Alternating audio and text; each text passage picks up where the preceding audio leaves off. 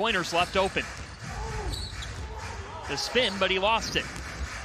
Up ahead to Tyrell Terry. Terry pulls the trigger and knocks Oh, down wow. a tough shot. They've out rebounded Memphis 15 to 7. Right, they've certainly brought the energy, the excitement level. They've just been a, a little sloppy as can be expected for your first game. Finishes from Tripp and then first year at Division Three Carleton College, he only played in four games. He played 16 minutes. So his ascent and was able to break through that trap and then found his teammate on a no-look pass. Ooh, Epps tried to bring the house down. Instead, it's Tyrell Terry.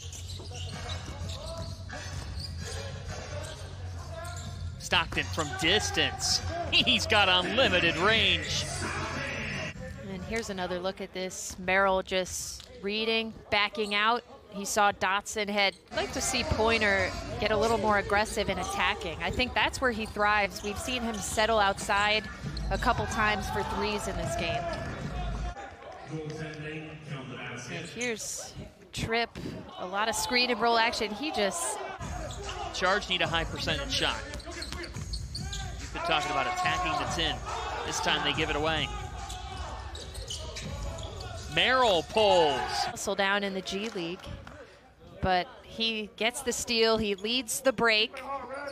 Ooh, pulled up a couple feet behind, making the extra pass to get a better look. Pointer denied Terry. Now a four on three.